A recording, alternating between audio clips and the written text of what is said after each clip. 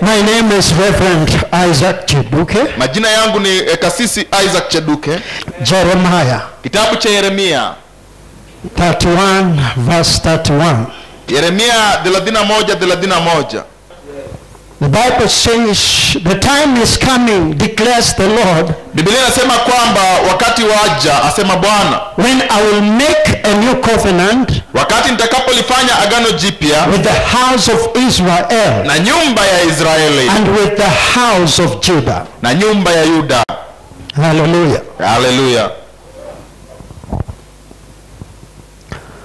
Let's bow down our heads and pray. tuinamisha vichwa vyetu na tuombe Father, we thank you. baba twakushukuru Let there be communication between your word and your people. acha kuwe na mawasiliano katikati ya neno lako na watu wako. Let your word pass acha neno lako lipite. through me kupitia mimi. with my interpreter na pamoja na mtafsiri under the anointing of the Holy Spirit. Chini ya upako wa roho mtakatifu. To share your mind kushiriki concerning this age and time. Kuhusiana na wakati huu na majira haya. In Jesus' name. katika jina la yesu. The power of the enemy, nguvu za adui. His agenda concerning services kazi yake juu ya kazi yako. in the house of worship. Na nyumba ya kuabudu. Today, leo. we stand against him. nasimama kinyume cha In the name of Jesus, katika jina la yesu. We level down his mountains. Tunanyoosha and set people, God's people free to receive God's word in the name of Jesus. katika jina la yesu Somebody say amen. mtu sema amina My message today, if you are writing, ujumbe wangu leo kama unaandika is entitled The New Covenant. umepewa kichwa agano jipya We have just read the book of Jeremiah. tumesoma tu kitabu cha yeremia And if you read the book of Jeremiah, chapter 1, verse from verse 5, ukisoma kitabu cha yeremia mlango wa kwanza mstari wa tano. when God began ministering to Jeremiah, wakati mungu alianza kumhudumia yeremia he told him things alimwambia maneno when he was still a youth. alipokuwa bado kijana And he told him, Before I formed you akamwambia kwamba kabla sijakuumba in the womb, I knew you. tumboni mwa mamako nalikujua And before you were born, na kabla hujazaliwa I consecrated you. nilikutia wakfu I set you apart. nikakutenga I appointed you as a na prophet kuchagua kama nabii to the nations. kwa mataifa I want you to connect nataka uunganike because we just read Jeremiah chapter 31 verse 1 kwa sababu tumesoma tu mstari wa 31 31 But have brought you to the foundation. lakini nimekurejesha kwa msingi God was speaking to Jeremiah, mungu alikuwa anamnenea yeremia preparing him akimwandaa for ministry. kwa ajili ya huduma And he told him, I know you. akamwambia mimi nakujua And today in the word, God's word, na leo katika neno la mungu Point your neighbor, tell him God knows you. ambie jirani yako mguze mwambie mungu anakujua Whisper in his ear or near him. mnongonezee katika sikio lake ama karibu naye Tell him he knows what you did yesterday. mwambie anajua kile ambacho ulifanya jana He knows. anajua He knows you. anajua He knows anajua, everything. anajua kila Even when you come here hata ukikuja and hapa with your boldness, na ujasiri wako you cannot fool him. hauwezi ukamshinda smarter than you. yeye ni mwerevu The Bible says he's Alpha and Omega. yeye ni alfa na Before Omega. you are in your mother's womb, kabla hujakuwa tumboni when he was forming you, wakati alikuwa anakuumba he knew, ah, this one, alijua alijua this one will be so and so. alijua huyu atakuwa hivi So there is nothing God doesn't know basi hakuna kitu ambacho mungu ajui There is nothing God doesn't know about your life hakuna kitu ambacho and what you are passing through. But what God wants is for you to connect yourself to Him so that He can help you. And he told Jeremiah, Jeremiah, Jeremiah, Jeremiah. I have appointed you to be a prophet to the nations. And in verse 6, na mstari wa sita the Bible says, the book of Jeremiah, kitabu cha yeremia verse 1 6. mstari wa kwa, mlango wa kwanza sita Bible says, biblia inasema Jeremiah said, yeremia akasema But God, e mwenyezi I am just a youth. I don't know how to speak. mimi ni kijana tu sijui namna ya kunena God told him in verse 7, mungu akamwambia katika Jeremiah, never say such thing. yeremia usiseme mambo kama hayo kamwe Jeremiah wondered, say, God, I'm a youth. Jeremiah hata sijui kuongea. I don't know how to speak. i don't know how sijui namna ya kuongea Kama ni sahihi kijana, hata sijui kukatia. Sasa Mungu naye ananiletea. Jeremiah disputed. And God told him, Jeremiah, never say that before. mungu akamkataza yeremia And in verse 7, God told him, never try to say that to me. usijaribu kuniambia haya That I'm a youth. Never say that to me. usiniambie hayo because everywhere I sent you, you will go Jeremiah. kwa sababu popote nitakapokutuma And utaenda. all that I command you. na yote nitakao to speak, kunena you will go and speak. utaenda na kunena Utaenda kijana. Kijana utaenda. you will go Eh, Jeremiah akaona hapa iko serious. Si vile nilikuwa nafikiria.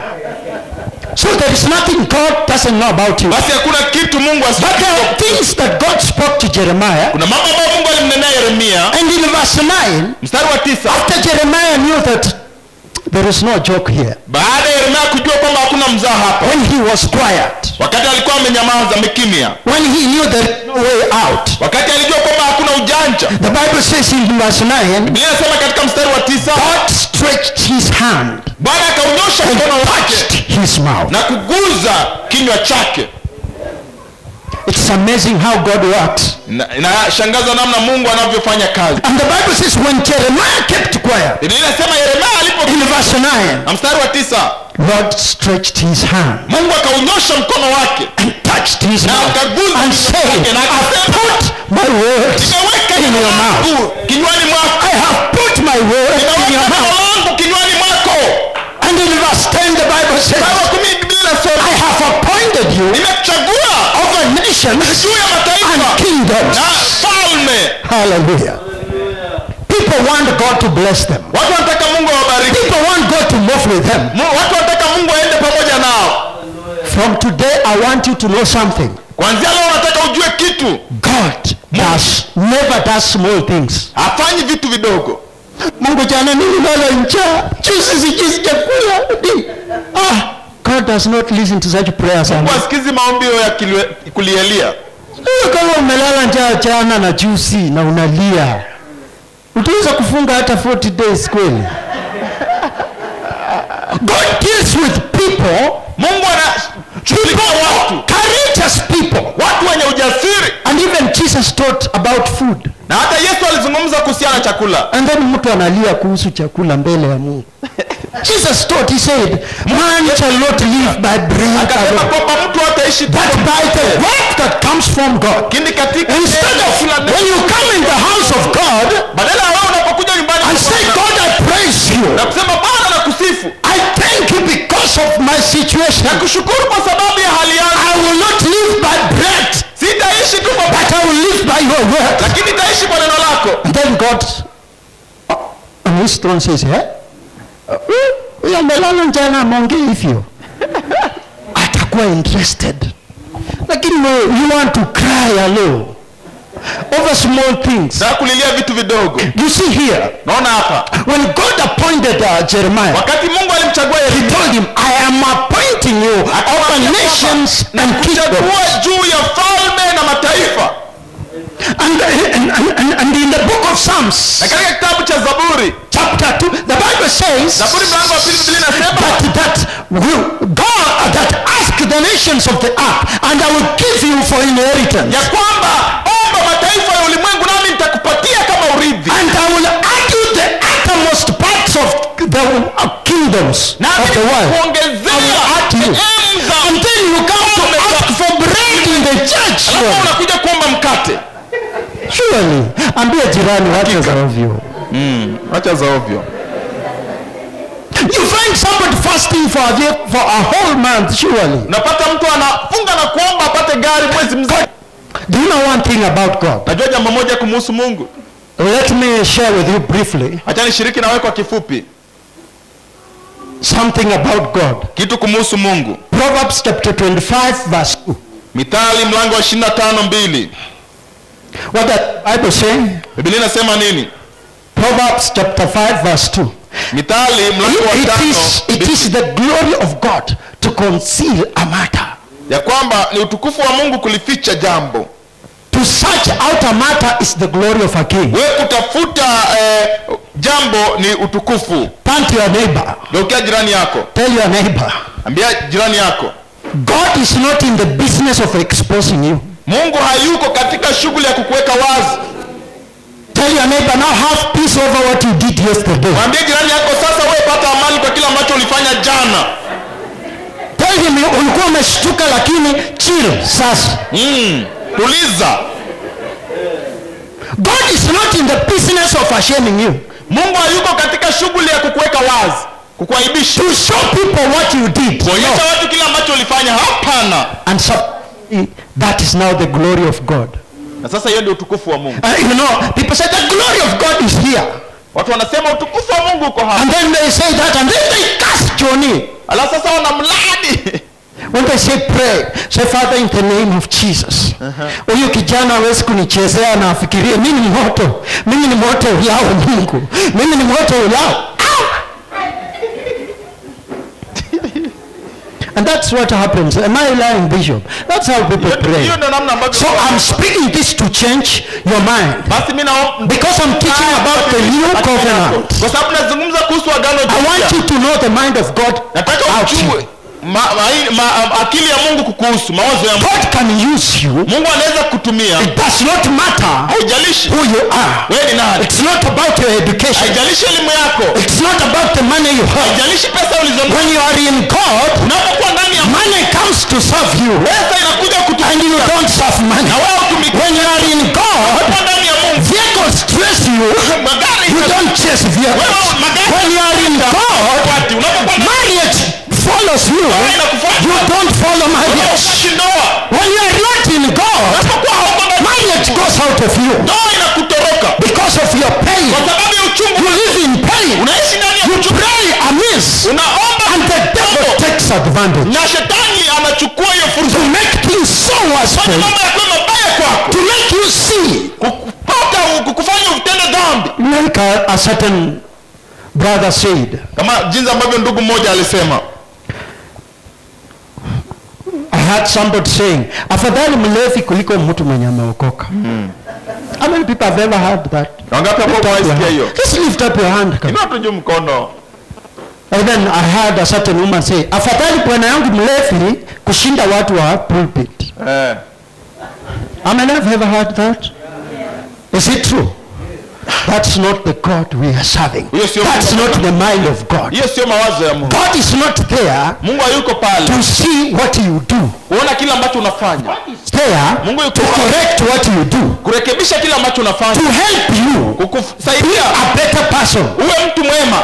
Because he established you sababu alikukuza. and he wants to carry you from slavery na anataka kuondoe kwa utumwa. and the trickery of the devil. Na akutoe katika kwa sababu shetani anatumia ujanja them look like true kufanya ionekane kana kwamba ni kweli. So that you believe them. Ili kwamba and you don't believe in God. na ukose kuamini ndani ya Mungu. And now that one hinders you. na sasa hii inakuzuia It hinders you inakuzuia from receiving. Because now you are focused to kwa sababu sasa asking wewe, for smaller things. unaweka mtazamo wako kuuliza vitu God vidogo never deals with small things. mungu hashughulikii vitu vidogo God deals with big things. mungu anashughulikia vitu vikubwa And if you want to deal with God, na kama unataka kukua na mungu ask for big things. omba vitu It is not sin. sio dhambi The world and everything is God's. ulimwengu na kila kitu ni ya mungu What am I trying to say? nasema nini The Bible says biblia inasema he appointed Jeremiah alimchagua yeremia over the nations. And if you continue to read that verse 10, ukiendelea kusoma mstari wa kumi Jeremiah verse 1 verse 10, Jeremiah mlango wa kwanza kumi ahead there, the Bible said, I've chosen you to the nations biblia inasema kwamba nimekuchagua kwa and to the kingdoms na kwa falme to pluck and break down, wewe utapanda na kung'oa to destroy and overthrow, kuharibu na ku, to build and to plant. kujenga na kupanda And as you do that in verse, verse 12 says,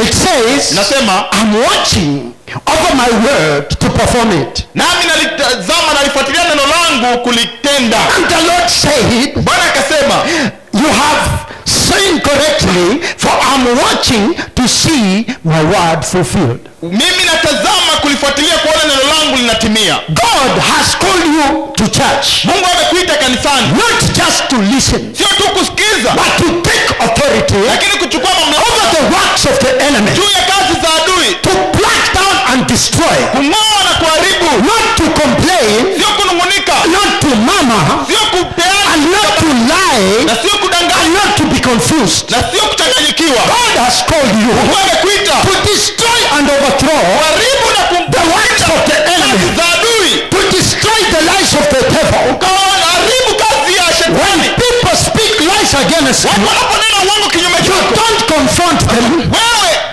You don't confront them, wewe hauendi na kubishana nao. But you go on your knees. lakini unaenda kwa magoti yako. You say, God, you know me. unasema mungu nanijua What they're saying is not true. ambacho unasema sio I want to destroy. Nataka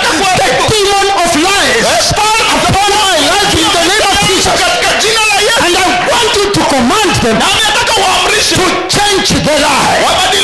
And. God will do it for you. You are there to destroy the sickness in your family. ndani ya familia The sickness that comes upon your body. The, the, the problems, demonic forces za darkness that is used by the humans in the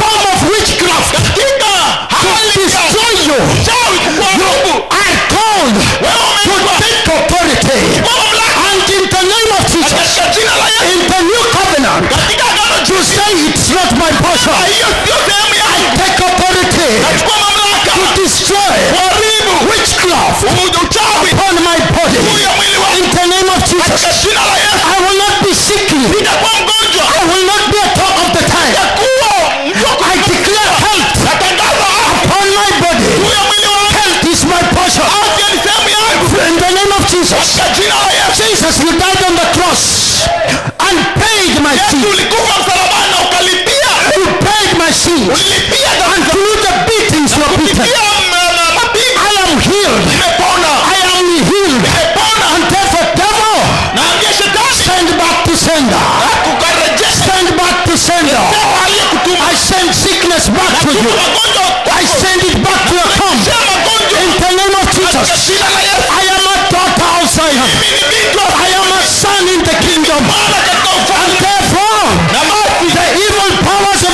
Cannot take authority. And frustrate me. I set myself free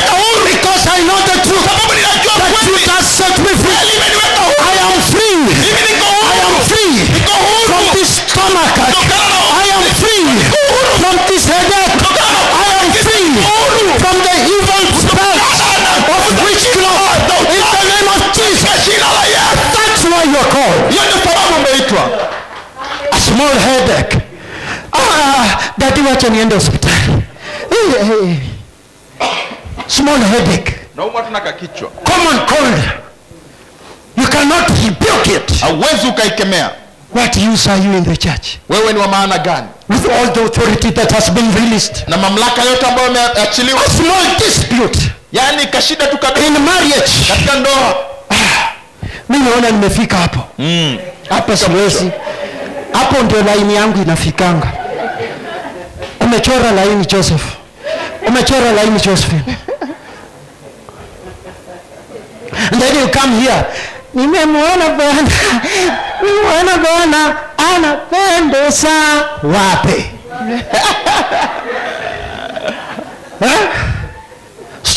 playing with authority a church is a place of authority Ma, kanisani ni mahali pa mamlaka How much time do I still need? I don't know.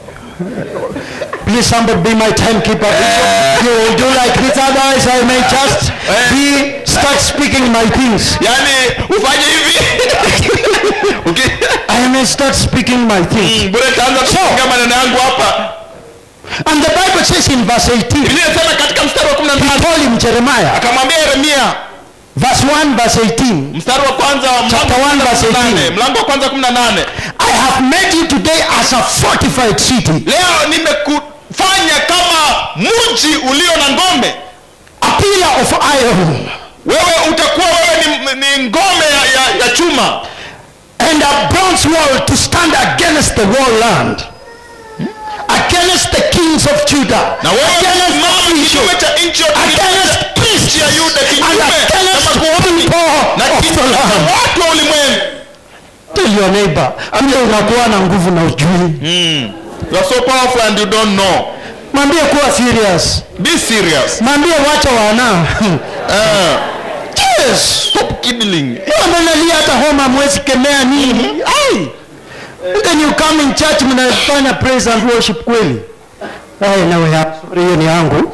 Okay he told jeremiah anamwambia Jeremia, today leo. I have fortified you. Nimekufanya mji wenye boma. When i touched your mouth nilipoguza kinywa chako i fortified you. nilikufanya. Because i put my word in you. Sababu niliweka neno langu ndani yako. you are fortified. Wewe umezingirwa. Against kings. Kinyume cha against politics. Kinyume cha officials of kanjo. Kinyume cha maafisa wa kanjo. Against chief priests of witchcraft. Kinyume cha makuhani wa against people of the land. Kinyume cha watu wa you are fortified. Wewe umelika because you are like an iron pillar. Kwa sababu wewe ni we- we- wewe ni kama nguzo ya chuma. Lakini mnajua iron pillar kweli? Ninyi mnajua kweli nguzo za chuma? Let me show you. Tani kuonyeshe this is an iron pillar. Hiyo ni nguzo ya it's holding this church imeshikilia hii kanisa. strongly. Imeshikilia kwa nguvu that's how you are. Hiyo ndivyo namna ulivyo. Pila. Mm, nguzo ya chuma. And the bible says if god is on my side who can be against changu? You come to me na mangumi na maboxing I wish I was a woman sometimes. Ati mtu anakuja anataka kuni box.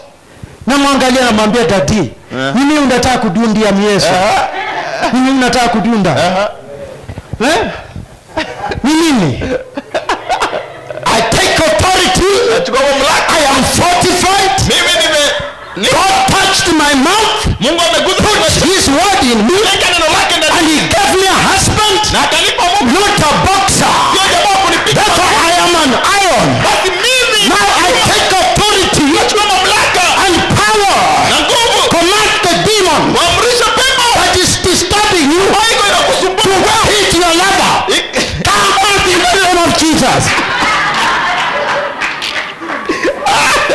Uone kama atakupiga. Lakini wewe naye sasa unataka kunipiga. Unichuangi. Unichuangi baba. Unichui. Ah. Huyu mbaba anichui. Anajua ndio si kweli. Utafura, utaonwa. Shauri yako. utaguzwa guzwa Use the word of God from today. tumia neno la mungu kuanzia leo All joy na furaha yote to save what you have. Because what the devil brings to your marriage sababu kila ambacho adui analeta a katika discord. ndoa yako ni kuleta to make you separate kukufanya mtengano and to make you hate na marriage. kukufanya uchukie ndoa Sasa sitaoleka tena. Wacha nikae nani? na naume wote Wacha nikae nani? ndaa kuwa nani Mwanaume akikuja mbele yako anambia nataka unisikie vizuri. Usione nikikuja church nimekaa hivi vile nilikuwa ukaona mimi ni mteremko. I don't want men in my life alone. sitaki Nimeswear mimi. Nonsense. wewe ni nani Anyway. olewa Use the word of God. tumia neno la mungu Wewe ungali na nguvu oleka wacha ujinga. Hizo nguvu Mungu alikupea za nini hiyo mayai waste bure? What kind of ambia mtu shame on you bwana. aibu kwako Na kama kuna mwanaume hapo mwambie wacha kutesa watu bwana. Mm, acha kutesa Wacha kujifanya wewe ndio simba. Wacha kujifanya wewe ndio simba. Utaenda utaisha baba. Utaisha. Mwambie mwanaume karibu na Ambia wewe. yeye wacha kutesa Ambia wacha kutesa watoto ya watu. Tesa, unatesa So from today basi kuanzia in leo this church katika kanisa we speak the word of God. unanena neno la mungu When you see unapoona even a minister Hata coming on this pulpit anakuja kwa madhabahu starting to speak his things that anaanza kunena are not going with the faith of this blessed church. na ambaye haiendeni na imani Take authority in prayer. katika Start faka basi until beboko ya God. This is not a man of God. huyu sio mtu wa Mungu And I take authority. nami nachukua mamlaka He will not defile this altar. Jesus. He will not defile this altar. In the name of Jesus. Close his mouth. Funga kinywa chake. Utaanza kukoakoa na anawacha kuhubiri anaenda. Hmm. This worried who will be the president. Oh, Mko mrengo gani? Mko gani bwana? Anyway, so we need to take authority. Tunahitaji. Yes cha mrengo. Wewe nataka nini? God can give you. Upendi ruto? Mveni mtoe. Upendi raila mtoe? Si kwa kuongea na jirani yako? Go to your knees the bible says he has given us ametupatia nations mataifa kingdom kings priests officials. kuja hapa kuniambia mingi official wa council. Mmekata license kweli license ya kuhubiri. Angalia eh? ulisema?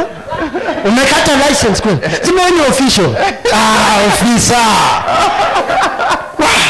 You are standing in a holy business. Amen. You are standing in a holy business. ni biashara takatifu. And uh, when you come here, na unapokuja hapa don't come with an arrogance of demons. usikuje na mapepo kiburi ya mapepo. Unafanya kama mwenye unamsongea kidogo. Mm. don't come with arrogance of demons. hapa na kiburi ya mapepo and the power of God in you na nguvu za mungu ndani yako when it meets his eyes inapokutana na macho yake will neutralize him. Mm, yani sema ah, mama sijakuja ni kazi tu mimi ni ofisio Anasema ni ofisio mimi tu ni kazi nilikuwa nafanya Ah, asema hivyo ah, karibu kiti sasa utangoja ninajipanga sijui kwa hii mwezi ama mwezi ujao lakini license nitakata. Others unakunywa soda gani? Mm. power authority courage nguvu mamlaka. Sasa weka kan wewe ndani wapo ifuga kanjo fuga. Ni kila kitu. Fuga tukae nje. Unakuja unatengeneza makuchi mama mwenye hapa ni nani? Si unaona kumefungwa? Hata wakujangi sijui kama wamekata license ya makanjo. Na ni wewe? Acha uongo. Alafu ukikuja hapa chachi huko tuza hapa and do you know something about lies? How many people have ever lied here? Faithful? lift up your hand. Nani waidanganya eh, na kumbe ni lift up your hand just like this faithfully. Baba yenu ni shetani. Pole kuambia pole kuambia inakuambia basi hatuna church. Hatuna. We have to change in this new covenant watu hawezi kujienjoy hivi mbele ya mungu. Nasema hata abrahamu alidanganya. Hey, na tulikunaona jesus christ. Mungu tuhurumie utusaidie kuanzia leo. Watu ni waongo the bible says the devil is the father of lies. Biblia inasema ati shetani ndio baba ya waongo. Wewe unataka kuoa bibi na unamdanganya? Kama wewe unafanya ami ni manager huko nini? Eh, mimi cha huko. Eh, wapi? Equity equity ya wapi ya marsabit unasema naenda once by week mimi ndio mdozi siwezi uko bora hata nipige hata wacha nipige simu. Unapiga simu ya fire ya power. Alo Ah, lakati msifanye mchezo pesa iibiwe. Weke kwa safe weke kwa safe. Mhm. alafu wasichana nao wanaingia boxa, "Ai, nimeangukia leo kanapanguza mainzi nime, hii ni ka, hii nimeangukia. Mungu amenichibu maombi yake asante mungu. Hey, god thank you. I worship you. I worship which god? Pray fast omba kwanza. Wacha kujifanya do i know you? Somebody comes tells you i want to marry you say well, that's good brother. That's good. Hiyo ni sawa. Um, what else? Nini kingine zingine mitatu nikuache. Ah, wewe nao unanipeleka mbio. Anyway ndugu ni vizuri lakini wacha tuo wacha tuombe. Let's pray and see what god says about it. And then you genuinely go to your knees say god huyu anataka kunioa. Mm. nionyeshe huyu ni mtu wa aina gani kwanza. Yes. Take authority. You're not just anybody. Chukua mamlaka wetu sio kitu so why am i saying we are in the new covenant basi mbona nasema tuko katika agano jipya what's the time now um, it's Say. one, One. six, yeah. Oh, my time is expired. Hey, hey. Is it expired? Oh, amen. Oh, mikono itainuliwa. Sawa. Okay. And the Bible says in verse 19 as I finish, Yes, katika mstari wa 19 napotamatisha they will fight against you. watapigana kinyume cha Jeremiah chapter 1 verse 19. yeremaya mlango wa kwanza 19 But they will not overcome you. ya kwamba watapigana na wewe lakini hawatakushinda. For I am with you to deliver you. maana mimi nipo pamoja nawe asema bwana Why, why, why don't you understand God, mbona usimwelewe mungu? People are fighting against you, wanapigana kinyume chako fighting your marriage, wanapiga vita ndoa fighting you in the office. wanapiga vita ofisini. Just laugh say, I'm fortified. Tell them I'm fortified. There is nothing you can do. waambie kwamba mimi nimezingirwa hakuna ambacho There is nothing you can do hakuna ambacho utanidu because kwa sababu I cannot overcome you. You are like a fortified city. wewe ni kama mji wenye They cannot overcome you. They cannot take your place. hawawezi wakachukua na They cannot take your marriage. Hawezi wakachukua They cannot take your business. Hawezi wakachukua They cannot close it down. hawawezi wakaifunga They cannot take your praise and worship leader. wakachukua They cannot take the anointing God has put upon you. mpaka mungu amekuwekea Why? kwa nini for you.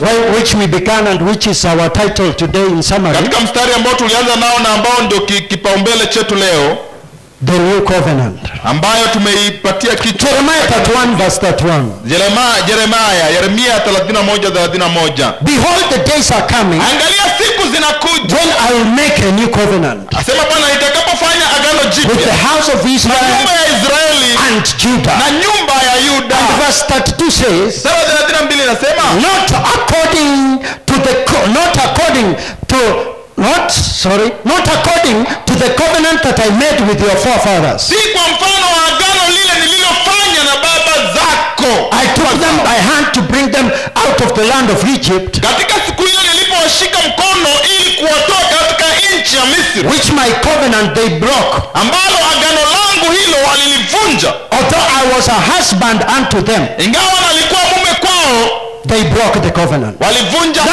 I want you to listen carefully. sasa nataka usikize kwa makini You know, I hear when people sing, I serve a God who changes not, I laugh.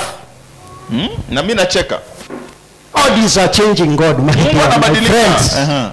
And I want you to get me very clearly. nataka unipate kwa wazi sana God is not just fixed mungu haja the way people think for him. namna ambavyo wanamfikiria Now people try to put their wisdom unajua watu wanajaribu kuweka for God. kujaribu kusaidia mungu kufikiria When God mungu took the Israelites, alipochukua israeli he had a covenant with them. alikuwa na agano nao And what is a covenant? na agano ni nini A covenant, agano in the word, in the Hebrew root word, katika eh, kibrania the word is called barabara.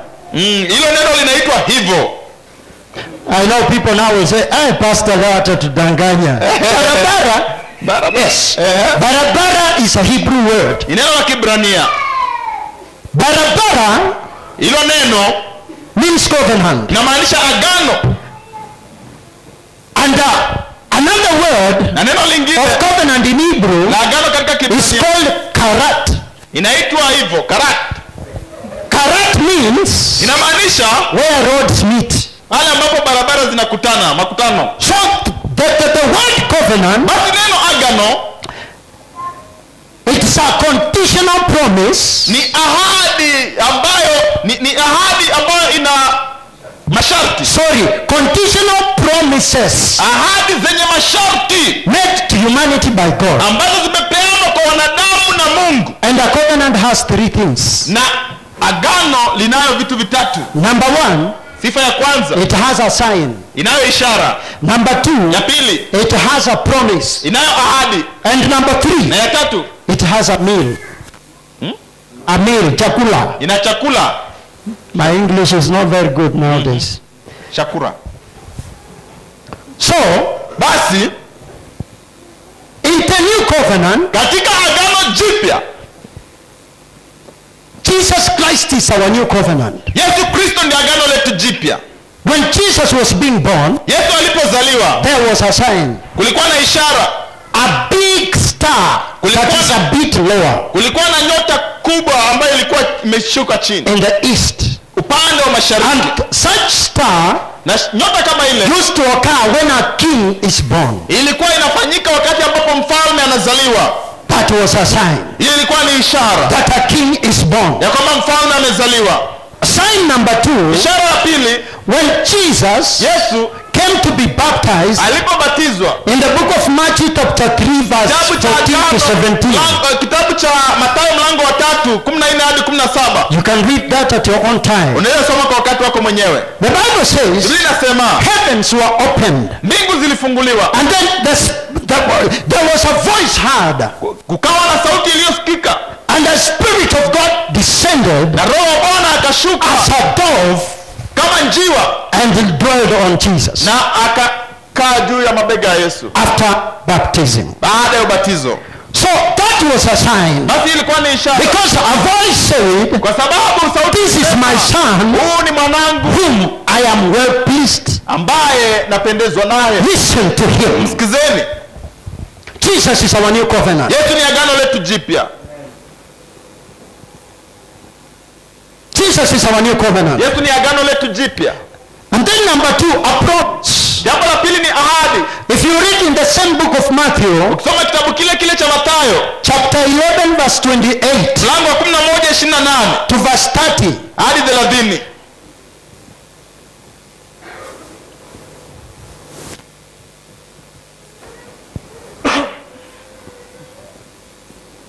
read it at your own time. soma kwa wakati wako mwenyewe The Bible says, Come to me, all you who labor njooni kwangu enyi nyote mliolemewa na mizigo heavily burdened, Nyenye nyote mliolemewa na mizigo mizito and I will give you rest. nami nitawapumzisha There are so many promises. unaye ahadi nyingi sana Underline promises, tia mkazo katika neno ahadi not just a promise. sio tu ahadi moja So many promises. ni ahadi nyingi Come to me njooni kwangu if you are heavily laden. Kama wewe una mizigo mizito Life has not been kind to you. maisha hayajakuwa yenye neema kwako. Come to Jesus. Njoo kwa yesu. And you'll find rest. nawe utapata pumziko And then another promise, ahadi nyingine John chapter 14, verse 6. yohana mlango 14:6 The Bible says, inasema I am the way, mimi ndio the truth, and life. kweli na maisha No one comes to the hakuna Father awezaye kuja kwa baba but through me. ila kupitia kwangu That is a promise. hiyo ni ahadi So if you are in Jesus, basi ukiwa ndani ya yesu that is the only way hiyo ndio njia pekee to touch the heart of God. kuguza moyo wa mungu And as I finish, a meal. napotamatisha chakula Matthew 26, 26 matayo 26 26 up to verse 29. hadi 29 You can read it at your own time nasoma kwa wakati wako mwenyewe because time is not on our side. sababu muda haupo upande wetu Jesus said, yesu anasema This is my bread. huu ndio huu ni mkate wangu Take this is my body. uchukue ule kwa kuwa ni mwili wangu. Eat my body.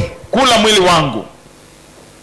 Eat my body. ule mwili wangu. And then the Bible says it continues, drink from my cup, biblia inasema kwamba unywe kutoka katika kikombe changu. All of you. nyinyi nyote. For this is my blood kwa kuwa ni damu yangu. of the covenant, ya agano. which is to be shed on behalf for, me, for forgiveness of sins. ambayo inafaa kumwaga kwa ajili ya msamaha wa dhambi A covenant agano cannot be sealed haiwezi. without a promise, haiwezi. without a meal, haiwezi katiwa muhuri pasipo ahadi pasipo chakula. and without a sign. na pasipo ishara. There is one kunaye moja. who fulfilled this, ambaye alitimiza haya and he ushered us into the new covenant. naye akatuingiza katika agano jipya And when he came, na alipokuja he changed and taught us how to pray. alibadilisha na hata kutufundisha namna ya If you get time, read Matthew 6, ukipata wakati soma matayo 6 chapter 9, verse 13. mstari wa 9 hadi The Lord's Prayer, ombe sala ya bwana very important. ambayo ni ya muhimu sana It speaks about inanena kuhusu how to greet God before you go to Him. namna ya kujitambulisha kwa mungu kabla hujaenda But kwake some of you, lakini wengine when you go to God, ukienda kwa mungu you just go rabashanta bakata rabababa. Wacha kierere ya Pentecost. mm, achana na hiyo kierere. Wacha kierere mbele kwa kuongea sana kwa kimi Eh?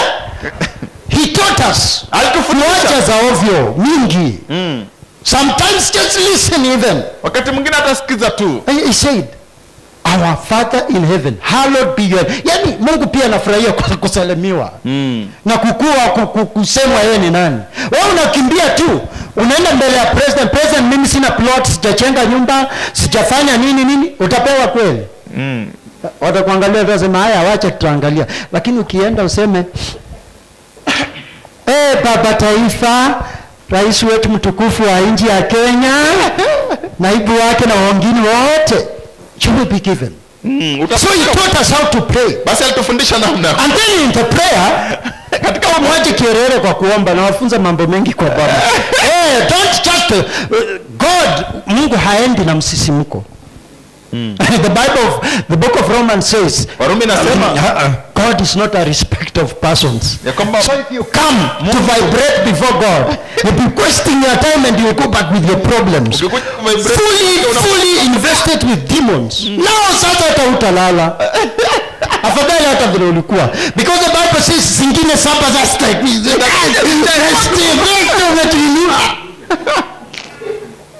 well don't play the spiritual warfare. Usicheze. So in the lord's prayer? He taught. Basi katika sala ya greet god before you speak. To him bwana kabla hujanena kwa speak about his will. Nena kuhusiana na mapenzi not your will. Sio mapenzi yako. God i want to get married. Mungu anataka kuo, kuolewa.